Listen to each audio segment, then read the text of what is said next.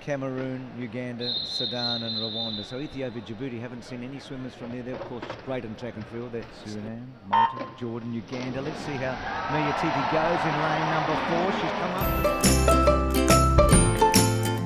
I have been able to achieve everything that I've achieved, whether as a, an academician, um, as a teacher, but also as a mentor to many. That, and I let them know that they can achieve anything they set themselves to do.